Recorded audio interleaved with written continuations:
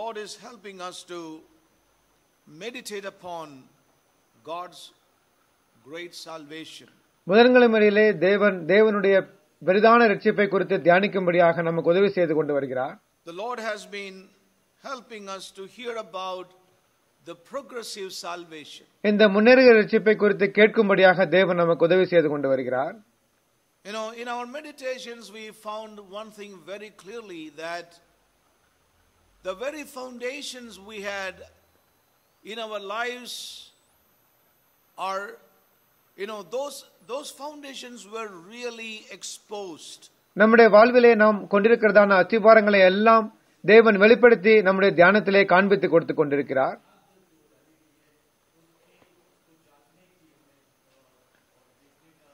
You know, the Lord has shown us what these foundations are supposed to be and what kind of foundations we have laid in our lives. இந்த அஸ்திபாரங்கள் எல்லாம் எப்படி இருக்க வேண்டும் என்றும் நம்முடைய வாழ்க்கையில அந்த அஸ்திபாரங்கள் எப்படி இருக்கிறது என்றும் தேவன் நமக்கு காண்பித்து கொடுத்து கொண்டிருக்கிறார் You know, as the scripture says, if the foundations are destroyed, how shall the righteous live? வேதம் சொல்லுகிறது அந்த அஸ்திபாரங்கள் நிர்மூலமாக்கப்பட்டால் நீதிமான் என்ன செய்வான் என்று You know, so we thank God தேவன் தன்னுடைய வேதத்தை நமக்கு வெளிப்படுத்தி காண்பி கொடுத்து கொண்டிருக்கிற விதத்திற்காக நன்றி செலுத்துவோம் we also thank God that He has shown us that this salvation is progressive in our life. நம்முடைய வாழ்க்கையில இந்த ரட்சிப்பு முன்னேறுகிற ஒன்றாய் இருக்கிறது என்பதை தேவன் சொல்லுகிறதற்காக நன்றி செலுத்துவோம் You know, this salvation is progressive. இந்த ரட்சிப்பானது முன்னேறுகிற ஒன்று Yes. You know, and we have seen very clearly that our spirit is saved and our soul is being saved in these days. இந்த நாட்களிலே நம்முடைய ஆவி ரட்சிக்கப்பட்டது நம்முடைய ஆத்மா ரட்சிக்கப்பட்டு கொண்டிருக்கிறது என்பதை நாம் தெளிவாக பார்த்தோம் You know, our soul shall be redeemed, our- our body shall be redeemed. மேலும் நம்முடைய சரீரமானது மீட்கப்படும் So, this is a time when our soul realm, the realm of our thinking, the realm of our emotions, and the realm of our will, you know, this realm is to be saved, changed. ஆகையால் இந்த நாட்களில் தானே நம்மளுடைய ஆத்ம மண்டலமான நம்முடைய சிந்தனையின் மண்டலம் உணர்வுகளின் மண்டலம் சித்தங்களின் மண்டலம் ரட்சிக்கப்பட வேண்டியதாயிருக்கிறது மாற வேண்டியதாயிருக்கிறது You know, the Lord made one thing very, very clear to us தேவன் ஒரு காரியத்தை நமக்கு தெளிவுபடுத்தியிருக்கிறார் that our thinking has to be changed. நம்மளுடைய சிந்தனை மாற வேண்டும் என்று You know, we have grown up and we have known a gospel which is not the true gospel. நாம் வளர்ந்திருக்கிறோம் நாம் கேட்டிருக்கிறதான சுவிசேஷங்கள் உண்மையான சுவிசேஷங்கள் அல்ல You know, a gospel which is man centered, அது மனிதனை மையப்படுத்தியிருக்கிற சுவிசேஷமாகும் and we see that we could not progress as we ought to have progressed in this salvation because of this. இதன் காரணமாக இந்த சுவிசேஷத்திலே நாம் இந்த ரட்சிப்பிலே எப்படி வளர்ந்திருக்க வேண்டுமோ அப்படி வளரவில்லை என்று நாம் We பார்க்கிறோம் heard that we need to think life, நாம் ஜீவனை நினைக்க வேண்டும் என்று கேட்டோம் we have to think life, நாம் ஜீவனை நினைக்க வேண்டும் yes, and we need to speak life, நாம் ஜீவனை நாம் பேச வேண்டும் and we also need to live life. நாம் மேலும் அந்த ஜீவனை வாழ You வேண்டும் know, many a time our thought realm is filled with negative things, and you know, it signifies we are caught up with death in our thinking. பல நேரங்களிலே நம்முடைய சிந்தனையானது எதிர்மறையான காரியங்களினால் பிடிக்கப்பட்டிருப்பதனால் நான் மரணத்திலே காணப்படுகிறோம் என்று பார்க்கிறோம் And now the responsibility is on you. இப்பொழுது இந்த பொறுப்பு நம்மேல் Our விழுந்திருக்கிறது salvation is progressive and it speaks about abundant life. அந்த முன்னேறுகிற ரட்சிப்பு எதை குறிக்கிறது என்றால் பரிபூர்ண ஜீவனை குறிக்கிறது It speaks about life. அது ஜீவனை குறிக்கிறது It speaks about a progressive life. அந்த ஜீவனானது வளர்கிறதை குறிக்கிறது So we need to think life, ஆகவே நாம் ஜீவனை சிந்திக்க வேண்டும் you know, and may God help us. தேவன் நமக்கு உதவி செய்யட்டும் நம்முடைய அனுதின வாழ்விலே unless we are determined, our thoughts can so easily slip into the realm of death, the negative realm. அப்படியாக நம்முடைய சிந்தனை குறித்து நாம் மிக தீர்க்கமாக இல்ல- இல்லாவிட்டால் நாம் எளிதாக மரணத்திலே செல்ல முடியும் how we need to know that, uh, we need to accept the truth that Jesus Christ is the king of our life. நம்முடைய வாழ்விலே இயேசுவானவர் ராஜாவாய் இருக்கிறார் என்கிற சத்தியத்தை நாம் ஏற்றுக்கொள்ள வேண்டிய அவசியம் இருக்கிறது என்பதை பார்த்தோம். நம்முடைய வாழ்வின் எஜமான் அவரே. நாம் அவருடைய அடிமைகள். நாம் அவருடைய அடிமைகள். நாம் நீதிக்கு அடிமைகளாக இருக்கிறோம். இதற்கு முன்பாக நாம் பாவத்திற்கு அடிமையாக இருந்தோம் And we thank God for all that God has spoken to us. நமக்கு பேசிய எல்லா காரியங்களுக்காகவும் தேவனுக்கு நன்றி செலுத்துவோம் Now, that word we have received நாம் பெற்ற அந்த வார்த்தையானது is to become a light unto our path. நம்மளுடைய பாதைக்கு அது வெளிச்சமாக மாற வேண்டும் It's to become bread unto us in our life. நம்முடைய வாழ்விலே நமக்கு அது ஒரு அப்பமாக மாற So வேண்டும் it's not enough that we have heard it நாம் கேட்டது போதுமானதல்ல and we have appreciated அதை. பாராட்டுவதும் போதுமானதல்ல Now the, the responsibility is that we have to live by it. அதன் அதன்படியாக வாழ வேண்டும் அதுவே நம்முடைய கடமையாகும் that is where the responsibility is upon each one of us. இங்குதான் நம்முடைய பொறுப்பு ஒரு கடமையாக நமக்கு We also வந்திருக்கிறது heard last week, கடந்த வாரம் கேட்டோம் you know, that we are ambassadors. நாம் ஸ்தானாதிபதிகள் என்று கேட்டோம் we are a people with a message to this world. இந்த உலகத்திற்கு ஒரு செய்தியை கொண்டிருக்கிற ஜனங்கள் என்று We are கேட்டோம் not only slaves, நாம் அடிமைகள் மாத்திரமல்ல we are also the ambassadors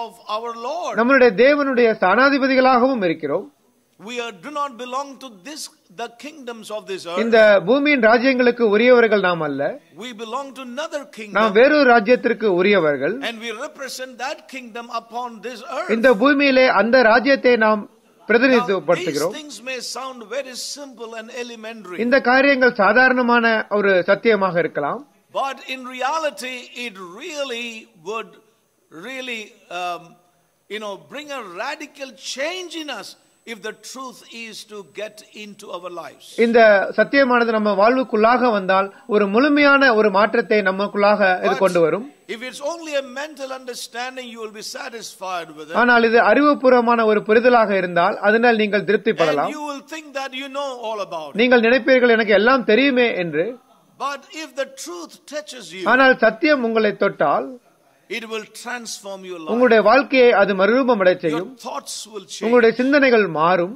Your life will change. உங்களுடைய வாழ்க்கை மாறும் We will realize that we have a message to the world where we live. நாம் வாழ்கிற இந்த உலகத்திலே நமக்கு ஒரு செய்தி உண்டு என்று நாம் we அறிய will முடியும் not be conformed to this world. இந்த உலகத்திற்கு ஒத்த வேஷம் நாம் தரிக்க You know, மாட்டோம் let's go on today and let's hear what God has to say to us even tonight. இன்று இரவும் கூட தேவன் பேசுகிற வார்த்தைகளை கேட்போம் You know, just to begin with, I want to turn us to the book of John, chapter 21, யோவான் எழுதின சு- யோவான் எ- எழுதின சுவிசேஷ புத்தகம் இருபத்தி ஓராம் and அதிகாரம் verse 15. பதினைந்தாம் வசனம் So when they had dined, Jesus saith unto Simon Peter, Simon, son of Jonas, lovest thou me more than these? He saith unto him, Yea, Lord, thou knowest that I love thee. He saith unto him, Feed my lambs. அவர்கள் போஜன பண்ணின பின்பு இயேசு சீமோன் பேதுருவை நோக்கி 21, verse 15. பதினைந்தாம் வசனம் யோனாவின் குமாரனாகிய சீமோனே இவர்களிலும் அதிகமாய் நீ என்னிடத்தில் அன்பாய் இருக்கிறாயா என்றார். அதற்கு அவன் ஆம் ஆண்டவரே உம்மை நேசிக்கிறேன் என்பதை நீர் அறிவீர் என்றான். அவர் என் ஆட்டுக்குட்டிகளை மேய்ப்பாயாக என்றார்.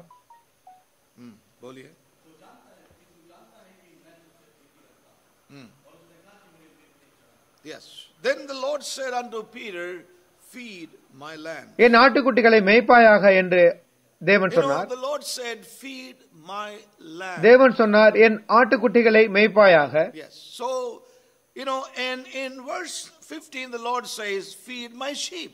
பதினாறாம் அதிகாரத்திலே என் ஆடுகளை மேய்ப்பாயாக என்றும் சொல்லியிருக்கிறார் No, read verses 16. பதினாறாம் அதிகாரம் கூட அவர் என் ஆடுகளை மேய்ப்பாயாக என்றார் See, இங்கு இரண்டு வார்த்தைகள் உண்டு என். ஆட்டுக்குட்டிகளை மேய்ப்பாயாக And then he said, Feed my sheep. அதற்கப்புறம் என் ஆடுகளை மேய்ப்பாயாக என்றும் You சொல்லுகிறார் know, the Lord was very categorical, specific to tell Peter, feed my lambs. குறிப்பாக பேதுருக்கு சொல்லுகிறார் என்னுடைய ஆட்டுக்குட்டிகளை மேய்ப்பாயாக என்று You know, today there's no lack for Bible teachers all around us. நம்மை சுற்றி இன்றைய நாட்களிலே வேத போதகர்களுக்கு பஞ்சமில்லை.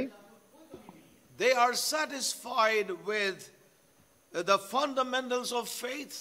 அந்த அஸ்திபார விசுவாச அஸ்திபாரத்திலே அவர்கள் திருப்தி அடைந்திருக்கிறார்கள் Yes, and they teach them. அதை அவர்கள் போதிக்கிறார்கள். They teach them about the fundamentals of faith. அந்த விசுவாசத்தின் அஸ்திபாரங்களை குறித்து அவர்கள் பேசுகிறார்கள் போதிக்கிறார்கள். A man of God said like ஒரு. தேவ மனிதன் இப்படி சொல்லுகிறார் He made a terrible statement இப்படி ஒரு பயங்கரமான அறிக்கை விடுகிறார் நம்மளுடைய தற்காலத்துக்கு அது மிக பொருந்துகிறது as it did to his time. அவர் நேரத்திலே அந்த காலத்திலே பொருந்தியது போல.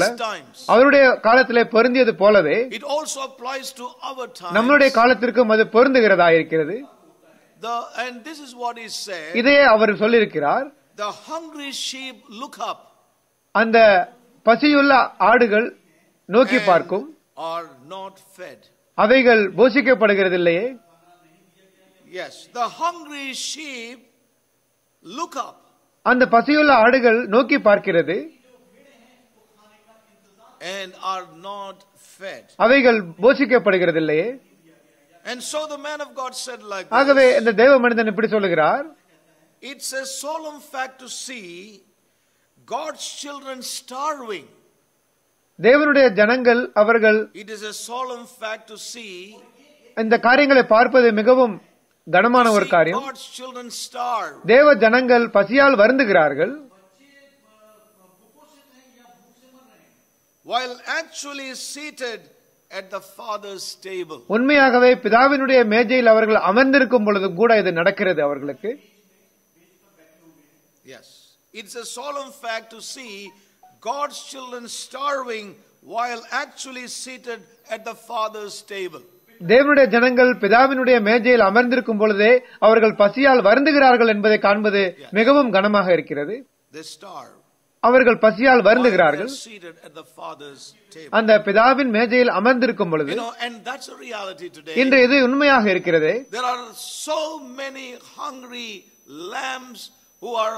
Uh, really hungering for and waiting at the table of the Father, but there are not many to feed these lambs. ஆகவே உண்மையாகவே அந்த பிதாவினுடைய மேஜையிலே பசியுள்ள ஆட்டுக்குட்டிகள் காத்துக் கொண்டிருக்கிறது ஆனால் அவர்களுக்கு போஷிப்பதற்கு யாரும் இல்லையே But there is no one to really feed. அவர்களுக்கு போஷிப்பதற்கு யாரும் இல்லை starving at the Father's table. அவர்கள் அந்த பிதாவின் மேஜையிலே பசியால் வருந்துகிறார்கள் Yes.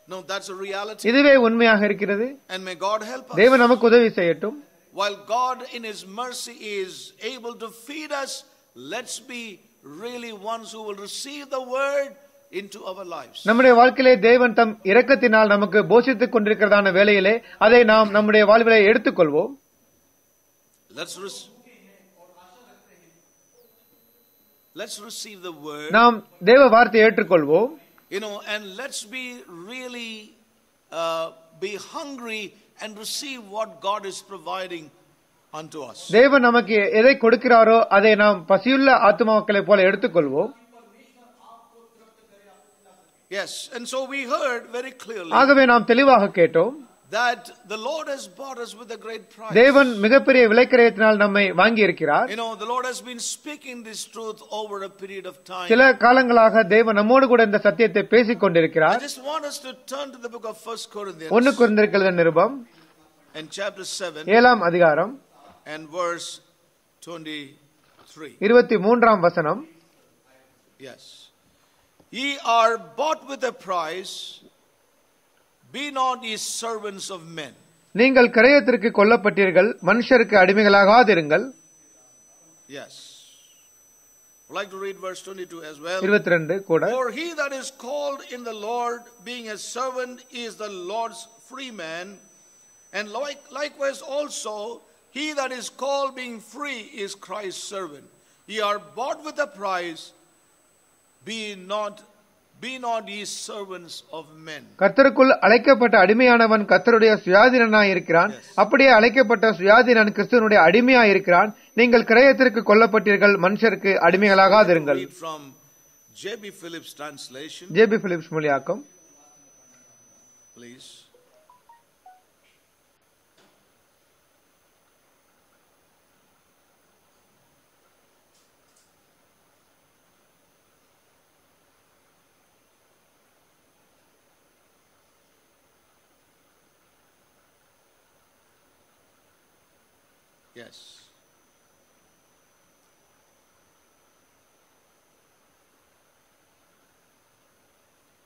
But a slave who is called to life in Christ is set free in the eyes of God. Chris- And a man who was free when God called him becomes a slave to Christ himself. அடிமையாய் அழைக்கப்பட்டவன் கர்த்தர் தேவனுடைய பார்வையிலே சுயாதீனனாய் இருக்கிறான் சுயாதீனனாய் கர்த்தருக்குள் அழைக்கப்பட்டவன் அடிமையாய் கிறிஸ்துவுக்கு இருக்கிறான் You know, and then he says, You have been redeemed at tremendous cost. நீங்கள் மிகப்பெரிய விலைக்கிரயத்தினால் நீங்கள் வாங்கப்பட்டிருக்கிறீர்கள் I would say that again. மீட்கப்பட்டிருக்கிறீர்கள் You have been redeemed at tremendous cost. நீங்கள் மிகப்பெரிய விலைக்கிரயத்தினால் மீட்கப்பட்டிருக்கிறீர்கள் Don't therefore sell yourselves as slaves to men. ஆகையால் மனுஷருக்கு நீங்கள் உங்களை ஒப்புக் கொடுக்காதிருங்கள் விற்று போடாதிருங்கள் Yes. You know, and so we see here very clearly you are bought with a price. நீங்கள் ஒரு விலைக்கிரயத்தினால் வாங்கப்பட்டிருக்கிறீர்கள் என்று தெளிவாக பார்க்கிறோம் not your own anymore. இனிமேல் நீங்கள் உங்களுக்கு உரியவர்கள் அல்ல Yes. Oh, we need to remind ourselves this. இதை நாம் ஞாபகப்படுத்திக் கொள்ள வேண்டும் that we are bought with a price. நாம் ஒரு விலைக்கிரயத்தினால் வாங்கப்பட்டிருக்கிறோம் We are not to be servants of men and our own self. மனிதனுக்கோ நமக்கோ நாம் அடிமைகளாக இருக்கக்கூடாது Yes, again, when we turn to 1 Corinthians chapter 6, ஒன்னு குறைந்தர் ஆறாம் அதிகாரம் மறுபடியும் verse 19 and 20. பத்தொன்பது இருபது வசனங்கள் What know ye not that your body is the temple of the Holy Ghost, which is in you, which ye have of God, and ye are not your own. உங்கள் சரீரமானது நீங்கள் தேவனாலே பெற்றும் உங்களில் தங்கியும் இருக்கிற பரிசுத்தாவினுடைய ஆலயமாய் இருக்கிறது என்றும் நீங்கள் உங்களுடையவர்கள் அல்லவென்றும் அறியீர்களா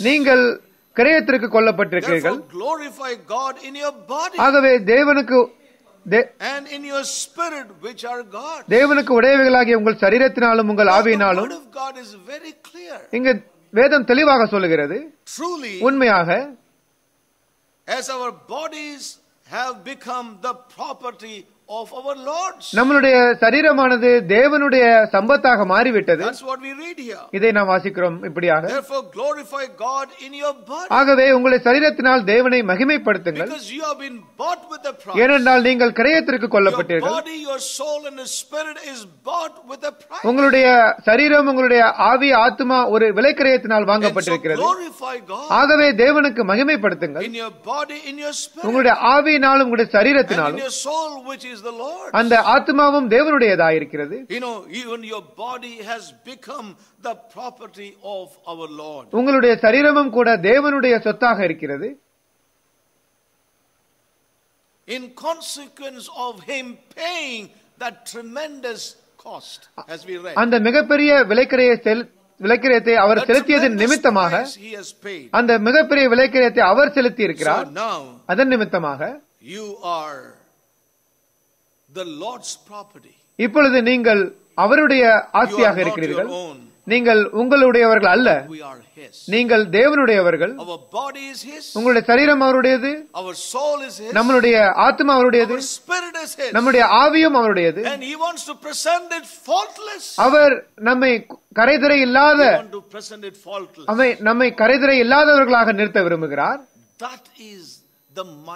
இதுவே தேவ சிந்தையாகும் நம்மை விலைக்கிரயமாக கொண்டிருக்கிறார். And He paid the price to present us. நம்மை நிறுத்தும்படியாக அந்த விலைக்கிரயத்தை செலுத்தி இருக்கிறார் கரைதிரை இல்லாமல் நிறுத்தும்படியாக. இதுவே சத்தியமாகும்.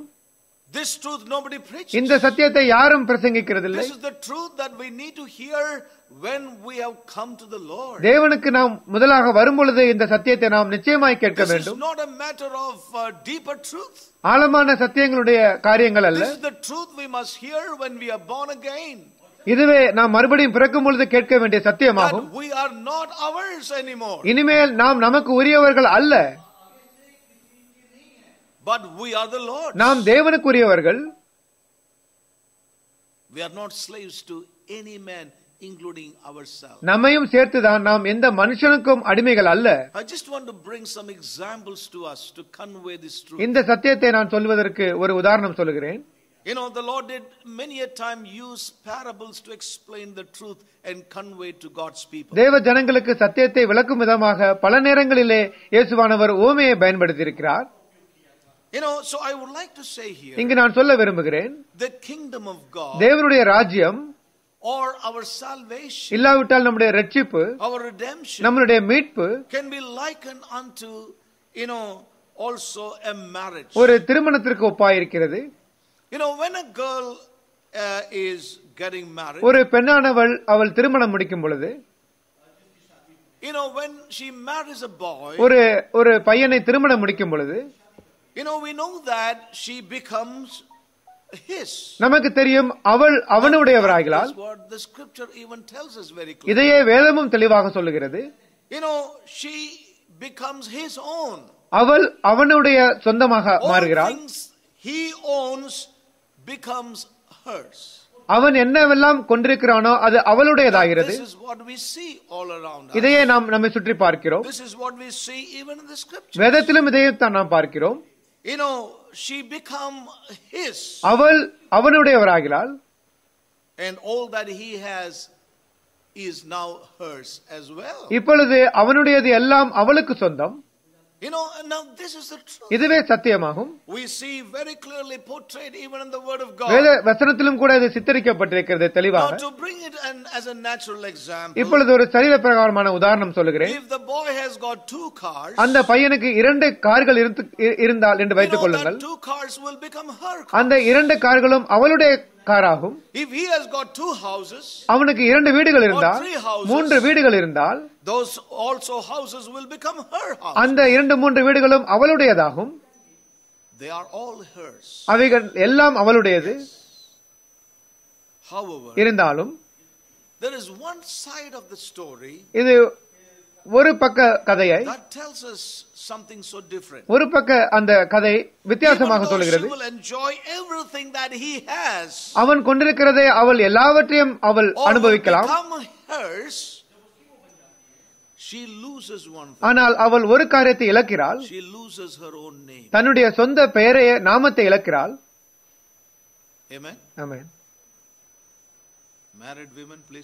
திருமணம் முடித்த சகோதரிகள் சொல்லுங்கள் She is known as Mrs. So and so. அவள் திருமதி என்று அழைக்கப்படுகிறாள் You know, you know, she is known by his name. அவள் அவனுடைய பெயரினால் She அழைக்கப்படுகிறாள் takes on his name. அவள் அவள் அவனுடைய பெயரை Oh, எடுக்கிறாள் she now gets so many things into her life. தன்னுடைய வாழ்க்கையிலே அவள் அநேக சம்பத்தை She பெறுகிறாள் gets riches and properties and cars and everything, but she has lost her own name. அவனுடைய பணம் அவனுடைய சம்பத்து எல்லாவற்றையும் பெற்றுக் கொண்டிருந்தாலும் அவளுடைய நாமத்தை அவள் இழக்கிறாள் Now that's what I would like to enlighten or uh, bring to our notice. இந்த ஒரு காரியத்தை நான் உங்களுக்கு குறிப்பாக சொல்ல விரும்புகிறேன். நாம் ஒரு மிகப்பெரிய விலைக்கிரயத்தினால் கொல்லப்பட்டிருக்கிறோம். இனிமேல் நாம் நமக்கு உரியவர்கள் அல்ல.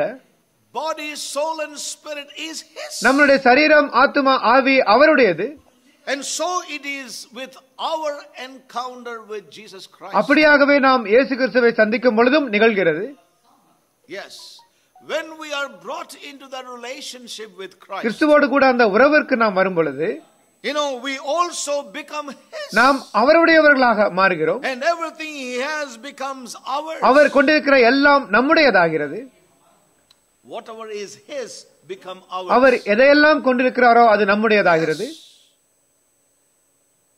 I know one thing. ஆனால் எனக்கு ஒரு காரியம் தெரியும் இந்த சுசேஷமாங்களுடைய மண்டலத்திலே we often, I have often heard people say, ஜனங்கள் இப்படி சொல்லுகிறது நான் கேட்டிருக்கிறேன் நான். கேட்டிருக்கிறேன் And I also have said when I was living in that realm, அந்த மண்டலத்திலே நான் வாழ்ந்த பொழுது நானும் சொல்லியிருக்கிறேன் you know, all that He has is yours from today. இன்றிலிருந்து அவர் கொண்டிருக்கிற எல்லாம் உங்களுடையது But we forget to tell one thing. ஆனால் நாம் ஒரு காரியம் சொல்ல We மறக்கிறோம் never told these new believers, all your life is His. இந்த புதிய இந்த புதிய விசுவாசிகளுக்கு உங்களுடையது எல்லாம் அவருடையது என்று சொல்லவில்லை. கிறிஸ்து உங்களுக்காக மரித்தார் என்று வலியுறுத்துகிறோம். அவர் வைத்திருக்கிற எல்லாம் உங்களுடையது என்று சொல்லுகிறோம் வலியுறுத்துகிறோம் ஆனால். ஒரு காரியத்தை நாம் சொல்லவே இல்லை உங்களுடைய எல்லா வாழ்வும் உங்களுடைய சரீரம் உங்களுடைய ஆத்மா உங்களுடைய ஆவி is now His and not yours. அது அவருடையது உங்களுடையது அல்ல என்பதை நாம் சொல்ல மறக்கிறோம் great mistake we have done over the years. இத்தனை வருடங்களாக நாம் செய்த தவறு இதுதான் And I know I have done that. நானும் அதை செய்திருக்கிறேன் And I repented of that in my own என்னுடைய வாழ்க்கையில் இதை குறித்து நான் மனம் திரும்பி இருக்கிறேன் And I would say, may God find some who will repent of this mistake in our own life. இந்த தவற்றை குறித்து மனம் திரும்புகிற சிலரையும் கூட நான் பார்க்க விரும்புகிறேன் தேவன் உணர்த்தட்டும் Hallelujah. Hallelujah We are ready to tell all that Christ is yours from today. You are born again. You are a child of God. All that He died for is yours from today. இன்றிலிருந்து நீங்கள் ரட்சிக்கப்பட்டிருக்கிறீர்கள் மறுபடியும் பிறந்திருக்கிறீர்கள் அவருடையது எல்லாம் உங்களுடையது என்று நாம் சொல்ல தயாராக இருக்கிறோம் Yes. We never said ஆனால் நாம் சொல்லவே இல்லை இன்று your life is not your own. உங்களுடைய வாழ்க்கை உங்களுடையது அல்ல. அவரே எஜமான். அவரே முதலாளி. நீங்கள் அடிமைகள்.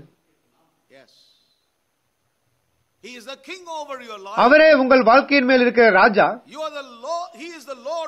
அவரே உங்கள் வாழ்வின் கர்த்தர் You cannot have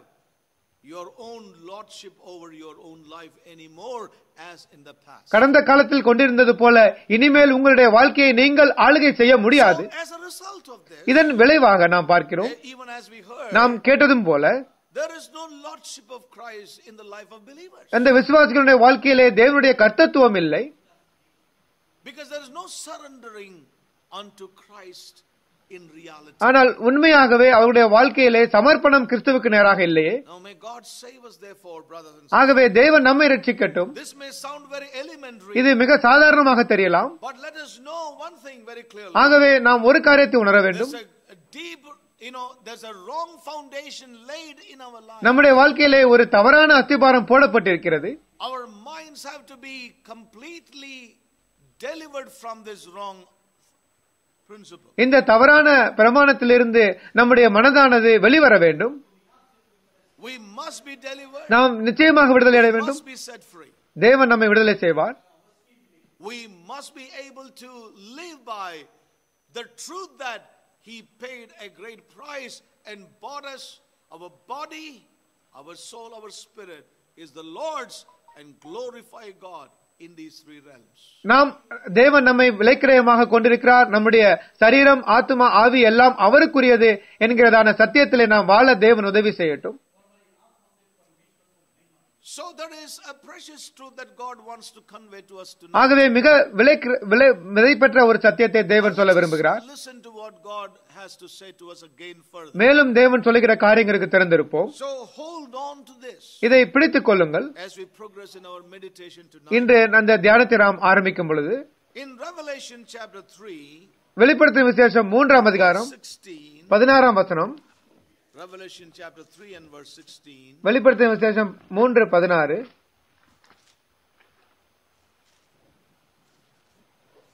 the Lord said this to the Laodicean church. லவோதிக்கிய சபைக்கு தேவன் இப்படி சொல்லுகிறார்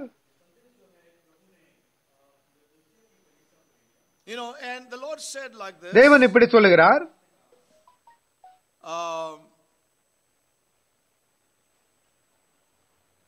you know, I know thy works, verse 15, பதினைந்து that thou art neither cold nor hot.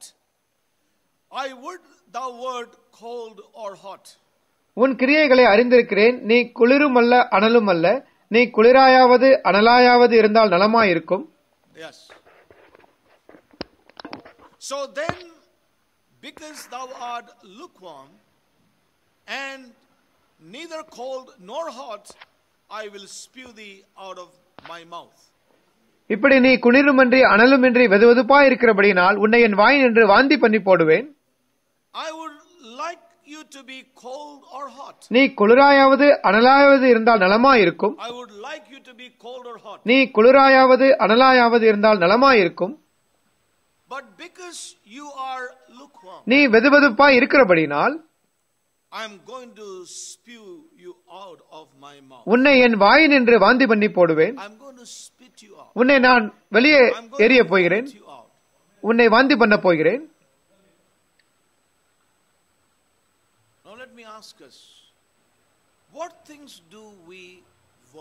நான் ஒன்று கேட்கிறேன் எந்த காரியத்தை நாம் வாந்தி பண்ணுவோம் நாம் சரீர பிரகாரமாக பார்க்கும் பொழுது நம்முடைய அனுதின வாழ்வின் அனுபவத்தின் அடிப்படையில் ஒரு காரியத்தை உணருங்கள் that. ஜீரணமாகாத காரிய பொருட்களை நாம் வாந்தி பண்ணுவோம்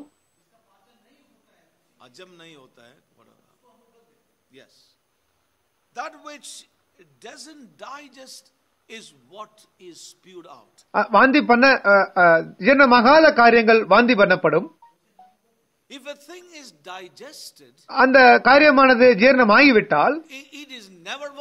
அது வாந்தி பண்ண முடியாது Yes. வாந்தி பண்ணப்படுவதில்லை?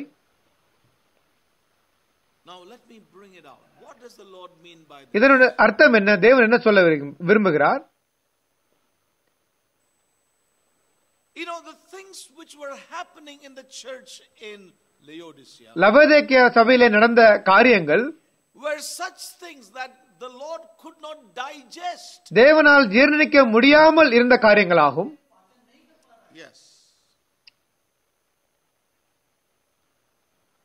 who are vomited out by the Lord, தேவனால் வாந்தி பண்ணி போடப்பட்ட ஜனங்கள் they are those who do not want to be digested or cannot be digested. அவர்கள் ஜீர்ணம் ஆக முடியாத ஜனங்கள் இல்லாவிட்டால் ஜீர்ணம் ஜீர்ணமாவதற்கு ஒப்புக் கொடுக்காத ஜனங்களாகும் இது. மிக முக்கியமாகும்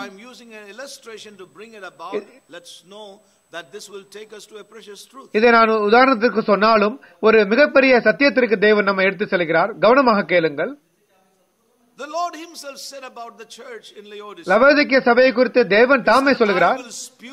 நான் உன்னை வாந்தி பண்ணி போடுவேன் Vomited people, வாந்தி பண்ணப்பட்ட ஜனங்கள் you know, they are those people அவர்கள் இப்படிப்பட்ட ஜனங்கள் who do not want to be digested by the Lord. தேவனால் ஜீர்ணம் ஆகக்கூடிய தேவனால் ஜீர்ணம் பண்ண ஒப்பு கொடுக்காதவர்கள்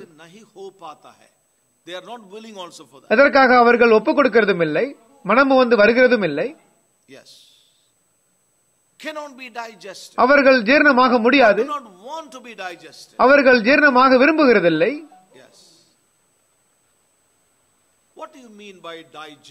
அந்த ஜீர்ணமாகுதல் என்றால் என்ன?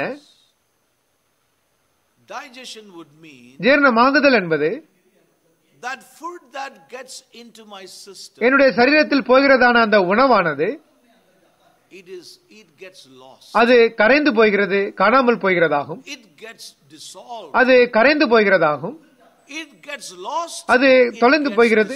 அது கரைந்து போகிறது சரீரத்திலே And that's what in simple language I can say. இதையே சாதாரணமாக புரிய வைக்க சொல்ல முடியும் when I say that the food is digested, it means that that food is dissolved, it is lost in my system. என்னுடைய சரீரத்திலே ஒரு உணவானது ஜீரணமாகிவிட்டது என்றால் அந்த உணவு காணாமல் போய்விட்டது என்ற அர்த்தம் That's finished. அது முடிந்து விட்டது It is got, it has,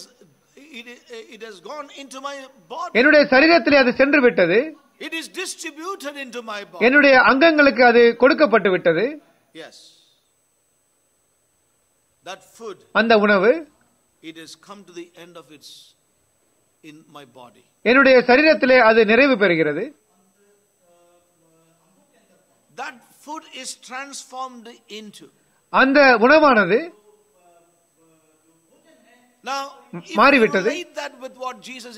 here, இங்கு இயேசுவானவர் என்ன சொல்லுகிறார் the Lord says, I would vomit you out. தேவன் சொல்லுகிறார் உன்னை நான் வாந்தி பண்ணி போடுவேன் They are not in a place to be digested அவர்கள் ஜீரணமாகக்கூடிய நிலைமையில் இல்லை by the Lord. தேவனால் Either their activities cannot be digested or they're unwilling to be digested. இல்லாவிட்டால் அவருடைய நடவடிக்கைகள் ஜீரணமாகக்கூடிய நிலைமையில் இல்லை இல்லாவிட்டால் அதற்கு அவர்கள் ஒப்புக் கொடுக்கிறதும் இல்லை They are not willing to be transformed into Jesus. இயேசு கிறிஸ்துவுக்குள்ளாக மறுரூபம் அடைய அவர்கள் ஒப்புக் கொடுக்கிறதில்லை Yes, they are not willing to be. அவர்கள் They are not willing to be lost into அவருக்குள்ளாக the life of the Son. குமாரனுடைய குமாரன ஜீவனுக்குள்ளாக வருவதற்கு அதில் கரைந்து போவதற்கு விருப்பமில்லை.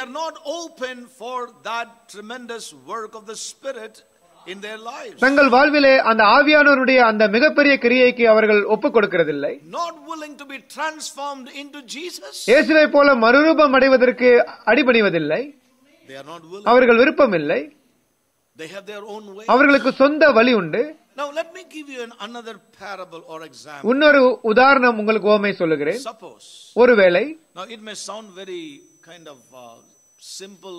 Sometimes you may feel like funny. இது ஒரு சாதாரணமாக ஒரு சிரிப்பாக தெரியலாம் உங்களுக்கு May God help us to understand what it really means. ஆனால் தேவன் சொல்லுகிறதை புரிந்து கொள்ளுங்கள்.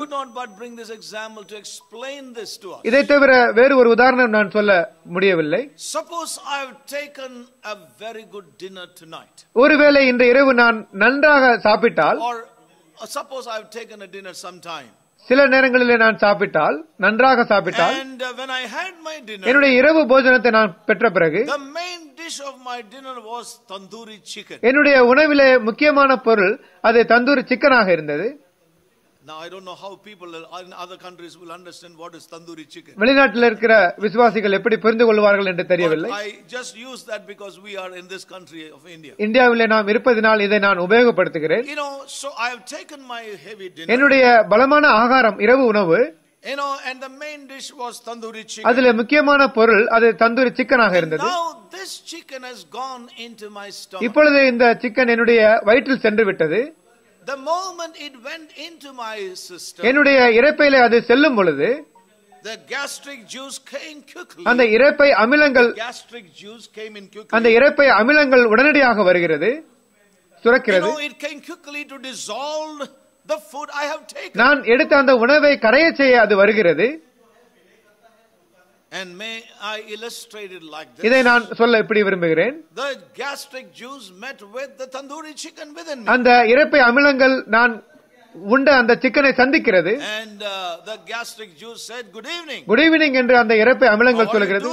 எப்படி இருக்கிறாய் என்று And he said, You are welcome here. நீ இங்கு வரவேற்கப்படுகிறாய் என்று சொல்லுகிறது And the chicken said, அதற்கு சிக்கன் சொல்லுது Or the food within me said, அந்த உணவு சொன்னது. நான் நன்றாக இருக்கிறேன் I am very, I am, I'm very much here, fine. நான் இங்குதான் இருக்கிறேன் நன்றாக இருக்கிறேன் for? ஆனால் நீ எதற்கு வருகிறாய் என்று அந்த அமிலத்தை கேட்டது அமிலம் சொன்னது. உன்னை நான் கரைய செய்ய வந்திருக்கிறேன் I have come to dissolve you. உன்னை நான் கரைய செய்ய வந்திருக்கிறேன் You cannot remain as chicken. நீ சிக்கனாகவே இருக்க முடியாது You cannot remain as that food that this man has taken. இந்த மனிதன் இந்த உணவை எடுத்தது போலவே நீ இருக்க முடியாது You have to be transformed into Joy Thomas. நீ ஜாய் தாமஸாகவே மறுரூபம் அடைய வேண்டும்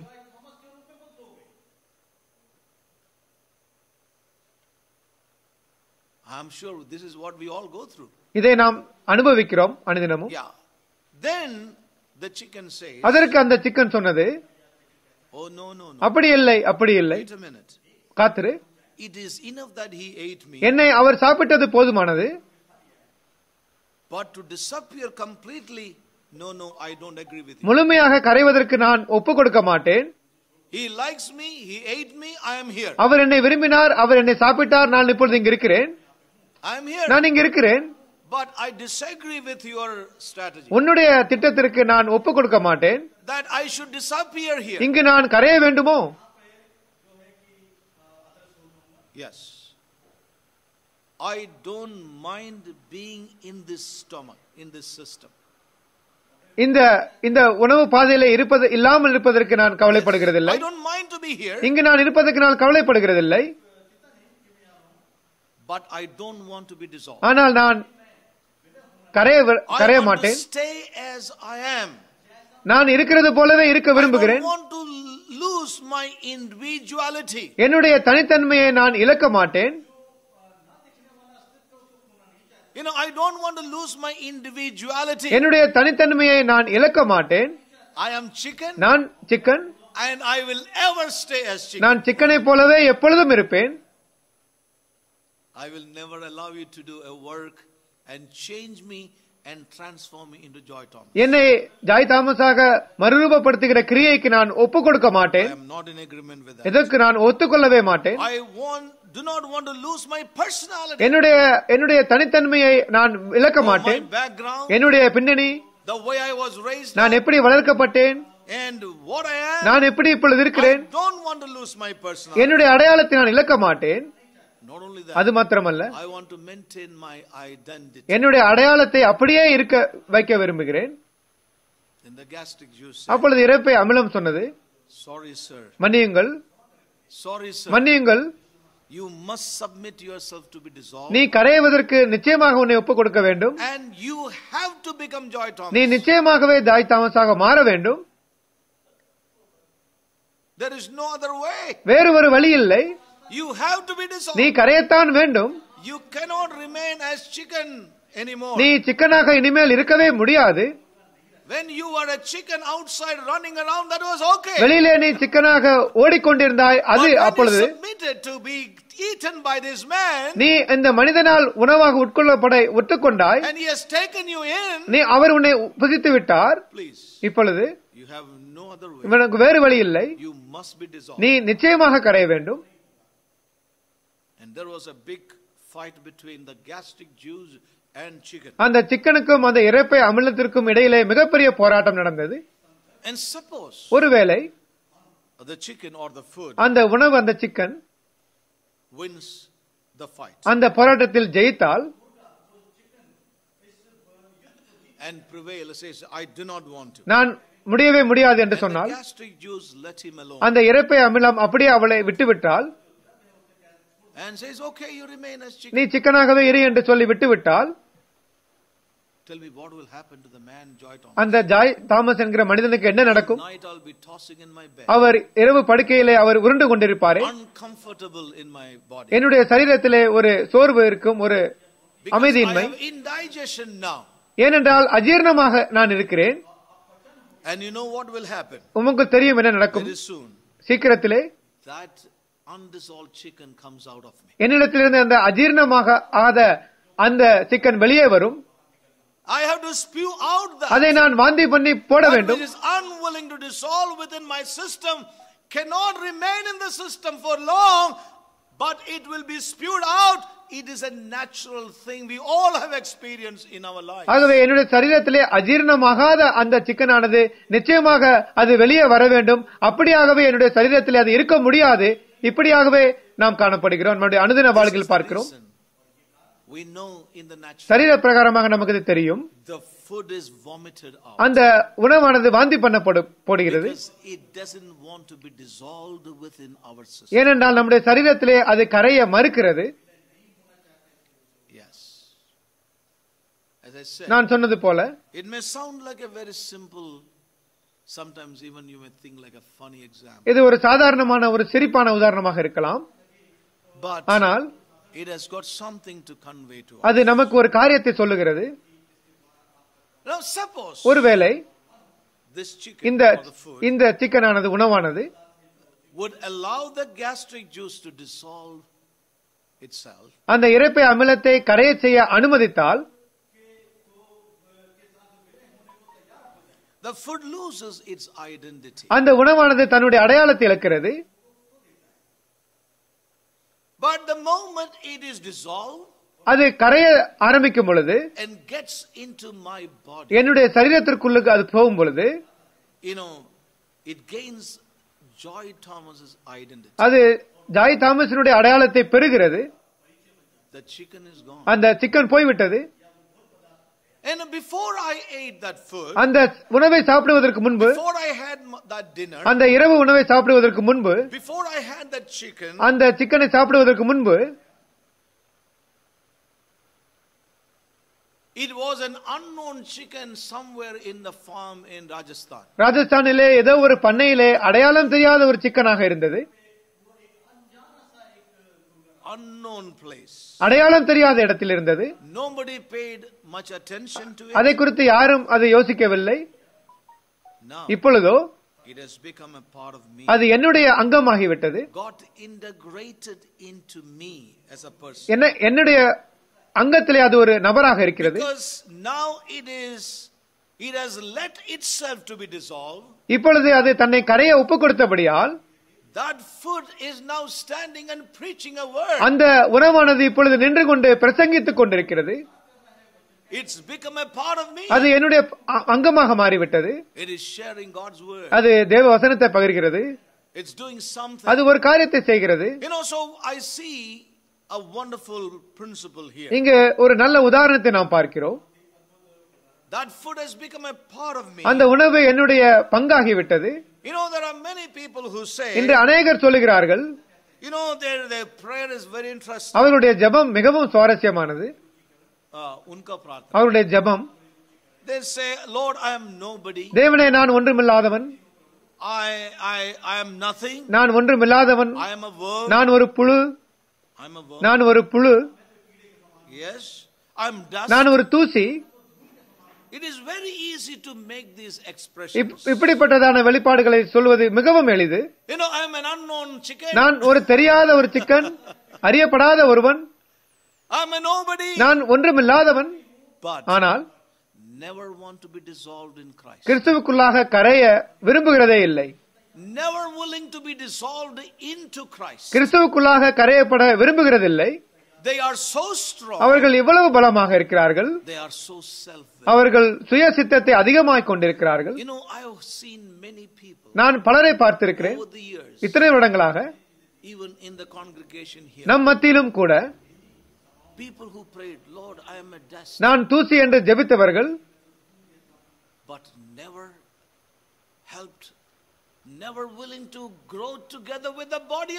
கிறிஸ்துவின் சரீரத்தோடு கூட வளருவதற்கு அவர்கள் விருப்பமே இல்லாமல் இருந்தார்கள் Never willing to lose their individualism and individuality. அவர்களுடைய தனித்தன்மையை அவர்கள் இழக்க எப்பொழுதும் விரும்பவே இல்லை Their so-called personality, அவர்களுடைய அடையாளம் their so-called identity. அவர்களுடைய தனித்துவம் தனித்தன்மை You know, I want to tell you, brothers and sisters, நான் சொல்ல விரும்புகிறேன் தேவ ஜனங்களே if you are a true disciple of Jesus இயேசு Christ, கிறிஸ்துனுடைய உண்மையான சீசர்களாக நீங்கள் இருந்தால் the Word of God teaches us தேவ வசனம் போதிக்கிறது the day we meet with the Lord, we lose our identity. எந்த நாளிலே தேவனை நாம் சந்தித்தோமோ அந்த நாளில் தானே நம்முடைய அடையாளத்தை We இழக்கிறோம் lose our individuality. நம்மளுடைய தனித்தன்மையை இழக்கிறோம் That's where that process, that work begins in our life. அங்குதான் அந்த செயல்முறை ஆரம்பிக்கிறது நம் வாழ்விலே So it is with us, brothers and sisters, இப்படியாகவே நமக்கும் இருக்கிறது தேவ ஜனங்களே when we come to the Lord. தேவனுக்கு நாம் வரும் பொழுது In order to be in Jesus, இயேசுக்குள்ளாக இருக்கிறதற்கு when we, in order to be in Jesus, கிறிஸ்துவுக்குள்ளாக இருப்பதற்கு இயேசுவுக்குள்ளாக இருப்பதற்கு in order to be in Jesus, Prabhu mein நாம் எல்லாவற்றையும். எல்லாவற்றையும் விட்டுவிட்டு இயேசுவாக மாற வேண்டும்.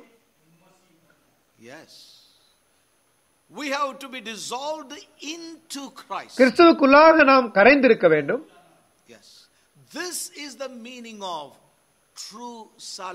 இதுவே உண்மையான ரட்சிப்பினுடைய அர்த்தமாகும் This is what Jesus said. இதையே இயேசுவானவர் சொன்னார் He who loses his life shall find it.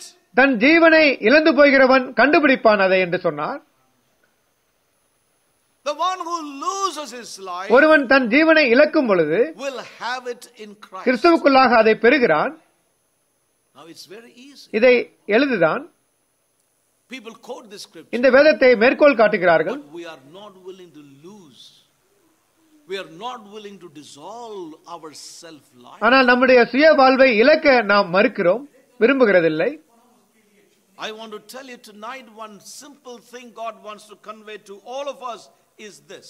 இந்த ஒரு சாதாரண சத்தியத்தை தேவன் நாம் எல்லோருக்கும் சொல்ல விரும்புகிறார் We must be dissolved into Jesus Christ. கிறிஸ்துவுக்குள்ளாக நாம் கரைந்து போக வேண்டும் நிச்சயமாக We no longer live for ourselves as we saw. நாம் பார்த்தது போல இனிமேல் நமக்காக நாம் வாழ்கிறதில்லை Over many weeks, God has been speaking this to us. பல வாரங்களாக இதை தேவன் நம்மோடு கூட பேசிக் கொண்டிருக்கிறார் We no longer live for ourselves but for Him. அவருக்காகவே வாழ்கிறோம் நாம் நமக்காகவே இனிமேல் வாழ்கிறதில்லை We must let go our self love, நம்முடைய சுய வாழ்வை நாம் விட்டுவிட வேண்டும் நம்முடைய சொந்த விருப்பத்தை our own thoughts, நம்முடைய சொந்த நினைவுகளை and our emotions. நம்முடைய உணர்வுகளையும் கூட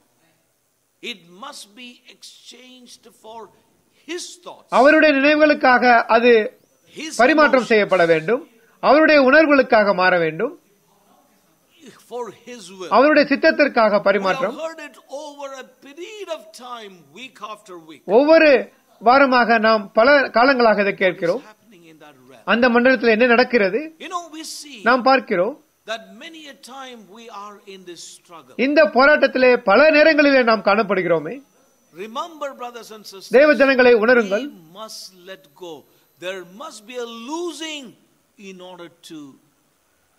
நிச்சயமாகவே நாம் விட வேண்டும் நாம் லாபத்தை நச்சமடைய வேண்டும் taught his disciples. இந்த நீதியையே தேவன் தன் சீசர்களுக்கு சொல்லிக் கொடுத்தார்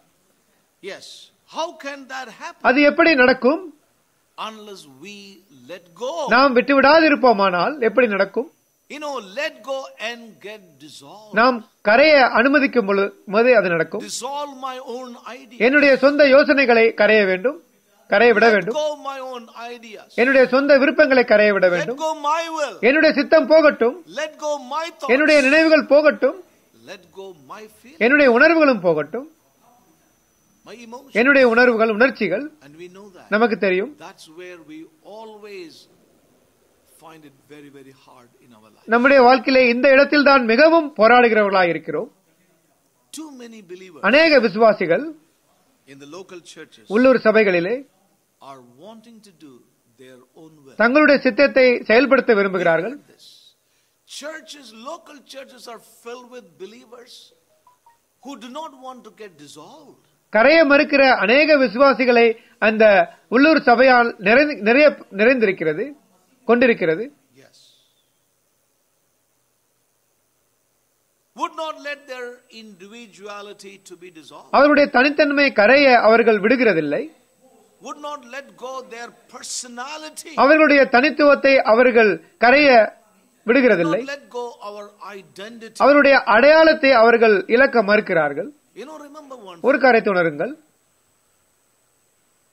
We must know our identity in Christ. கிறிஸ்துவுக்குள்ளாக இருக்கிற நம்முடைய அடையாளத்தை நாம் அறிந்து கொள்ள வேண்டும் In order to know our identity in Christ, we must lose our identity that nobody tells us. கிறிஸ்துவுக்குள்ளாக இருக்கிற அடையாளத்தை நாம் அறிய வேண்டும் என்றால் நம்முடைய அடையாளத்தை நாம் இழக்க வேண்டும் tell us again and again, you must know who you are in Christ. கிறிஸ்துவுக்குள்ளாக நீங்கள் யார் என்று அறிய வேண்டும் என்று அநேகர் சொல்லிக்கொண்டே இருக்கிறார்கள் Scriptures after.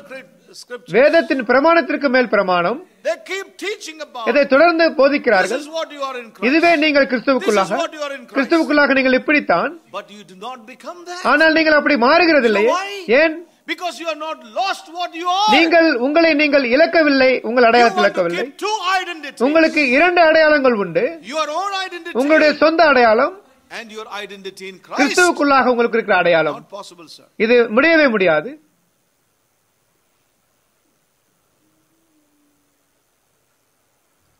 That's very important. இது மிக முக்கியமாகும் The time is almost coming closer. நேரம் முடிய I போகிறது. நான் நிறுத்துகிறேன். ஒரு உதாரணம் சொல்ல விரும்புகிறேன் You know, we need to, we are to yield our bodies as a living sacrifice to Him. அவருக்கு நம்முடைய சரீரத்தை ஒரு ஜீவ பலியாக ஒப்புக் கொடுக்க வேண்டும் As we saw Nam- from 1 Corinthians chapter 6. ஒன்னு குறைந்த ஆறாம் அதிகாரத்தில் பார்த்தோம். நீங்கள் கிரயத்திற்கு கொல்லப்பட்டீர்கள் நீங்கள். கிரயத்திற்கு கொல்லப்பட்டீர்கள் ஆகவே உங்கள் தேவனை உங்கள் சரீரத்தினால் மகிமைப்படுத்துங்கள். தேவனுக்குரிய உங்கள் ஆவியின் மூலமாகவும் Yes. We are to yield our bodies as a living sacrifice to Him. அவருக்கு நம்முடைய சரீரத்தை ஜீவ பலியாக ஒப்புக் கொடுக்க வேண்டும் Romans chapter 12. ரோமர் கழுதின நிருபம் again. ஒன்னு ரெண்டிலே பார்த்திருக்கிறோம். Then, when we have to,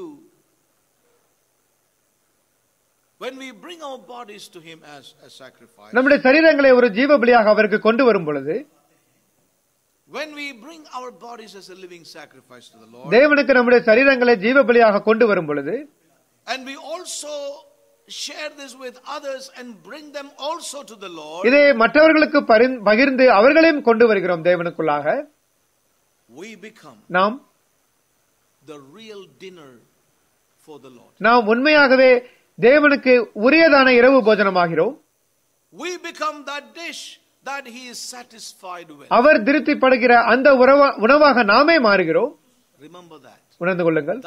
அது அவருடைய இருதயத்தை சந்தோஷப்படுத்தும் Yes.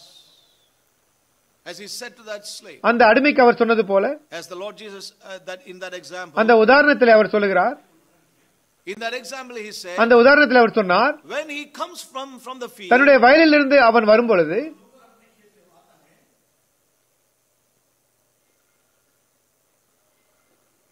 he begins to serve. He begins to serve the master. அந்த எஜமானுக்கு அவன் சேவகம் செய்ய ஆரம்பிக்கிறான் Yes. He serves the master with a dinner. அந்த இரவு போஜனத்தினால் அந்த எஜமானுக்கு அவன் போஷிக்கிறான் Yes. You know, the main dish that really satisfies the Lord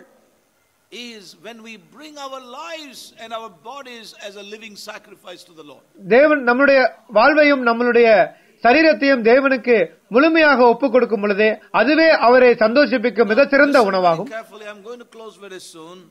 Now, Jesus said in John chapter 4, யோவான் நாலாம் அதிகாரத்தில் இயேசு சொன்னார் My meat is to do the will of my Father and finish it. என்னுடைய பிதாவின் சித்தத்தை செய்து முடிப்பதே என்னுடைய போஜனம் என்று சொன்னார் You know, Jesus had this எப்பொழுதுமே பிதாவுக்கு செலுத்தக்கூடிய அந்த உணவை இயேசு எப்பொழுதும் கொண்டிருந்தார் And that was the meat. அதுவே போஜனமாயிருந்தது You know, and that was to do with the will of the Father and complete it. அது பிதாவின் சித்தத்தை செய்து முடிப்பதாயிருந்தது That was the meat of Jesus Christ. அதுவே இயேசுவினுடைய போஜனமாயிருந்தது Was to give himself fully to the Father's will. பிதாவின் சித்தத்திற்கு தன்னை முழுமையாக ஒப்புக் கொடுப்பதாயிருந்தது You know, in other words, he got fully dissolved in the Father. இன்னொரு வார்த்தையிலே பிதாவிலே அவர் முழுமையாக கரைந்திருந்தார். ஹalleluya Jesus got fully dissolved into the Father. இயேசுவானவர் பிதாவுக்குள் முழுமையாக கரைந்திருந்தார் He became that meat for the Father. பிதாவிற்கு ஏற்ற உணவாகினார். பிதாவிற்கு சந்தோஷிப்பிக்கிற உணவாகினார் Glory to God. தேவனுக்கு மகிமை உண்டாவதாக Jesus was fully dissolved in the Father and became one with the Father. இயேசுவானவர் பிதாவிற்குள் முழுமையாக இருந்து கரைந்திருந்து தன்னை ஒன்றாக்கி இருந்தார் He was he was one with the Father in eternity, நித்தியத்திலே பிதாவோடு கூட ஒன்றாயிருந்தார் but now on the earth ஆனால் இப்பொழுது பூமியிலே he was dissolved into the Father. இப்பொழுது பிதாவில் பிதாவின் சித்தத்தை செய்வதன் மூலமாக. தன்னை ஒப்புக் கொடுப்பதன் மூலமாக. தேவனுக்கு மகிமை உண்டாவதாக. பிதாவுக்குள் முழுமையாக ஒப்புக் கொடுக்கப்பட்டிருந்தார். இப்பொழுது அவர் ஒன்றாகி விட்டார் பிதாவோடு கூட. இதுவே பிதாவினுடைய போஜனமாகும் அவர் சொன்னார் This is my beloved Son, இதுவே என்னுடைய பிரியமான குமாரன். யாரில் நான் அதிகமாய் சந்தோஷமாய் இருக்கிறேனோ? அது என்ன ஒரு பிதாவுக்கு ஒரு அருமையான. அந்த பிதாவுக்கு ஏற்ற உணவாக குமாரன் எப்படி இருந்தார் பாருங்கள். அந்த பிதாவுக்கு ஏற்ற ஒரு அந்த பலியாக அது இருந்தார் அவர் முழுமையாக. அவர் பிதாவின் வாழ்விலே முழுமையாக திருப்தி அடைந்தார் தேவ ஜனங்களே நம்மளுடைய போஜனம்.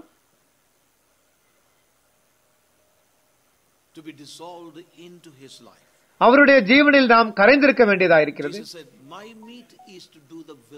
இயேசு சொன்னார் என்னுடைய போஜனம் பிதாவின் சித்தத்தை செய்து முடிப்பதே என்று My meat is to do the will of the Father. என்னுடைய போஜனம் பிதாவின் சித்தத்தை செய்து முடிப்பதே to be dissolved into His will, அவருடைய சித்தத்திற்குள் கரைந்திருப்பது into His thoughts, அவருடைய நினைவிற்குள்ளாக இருப்பது into His அவருடைய உணர்வை நாம் பங்கு கொள்வது. அவரோடு கூட ஒன்றாய் இருப்பது The Son had no identity of His own. குமாரன் தன்னுடைய சொந்த அடையாளத்தை கொண்டிருக்கவில்லை He that seen me என்னை கண்டவன் hath seen the Father. பிதாவை கண்டான் Hallelujah. Hallelujah He was fully dissolved into the Father. அவர் பிதாவுக்குள்ளாக முழுமையாக கரைந்திருந்தார் அதுவே the Lord's dinner அதுவே. பிதாவினுடைய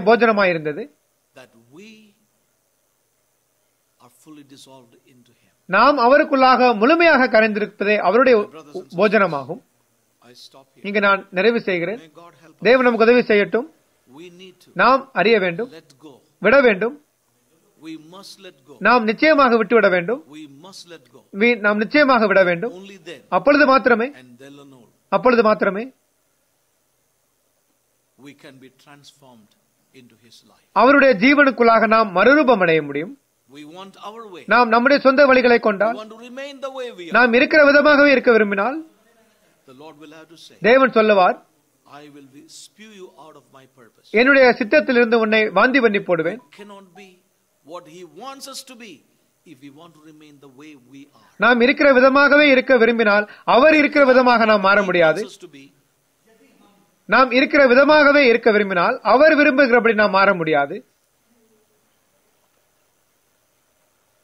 If we want to be what He wants us to be, then we must be willing to be dissolved. அப்படி இருக்க விரும்பினால் நாம் கரைய ஒப்பு கொடுக்க வேண்டும்.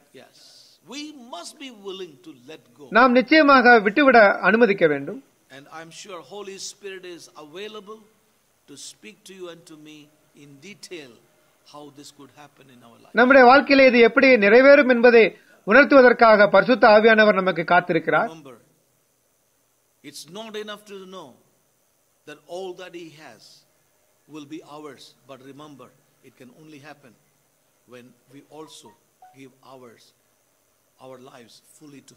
ஆகவே அவருக்கு உரியதெல்லாம் என்னுடையது என்பதை அறிவது போதுமானதல்ல. நாமும் நம்முடையது எல்லாம் அவருக்கு கொடுக்க வேண்டும். அப்பொழுது மாத்திரமே அது நடக்கும். Many say, know your identity in Christ. கிறிஸ்துவுக்குள்ளாக உன்னுடைய அடையாளத்தை அறிந்து கொள் என்று சொல்லும் பொழுது To know your identity in Christ, you must lose your identity. உங்களுடைய அடையாளத்தை இழக்கும் பொழுதே அதை நாம் அடைய முடியும்.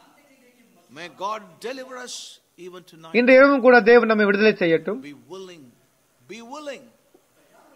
தயாராயிருங்கள்.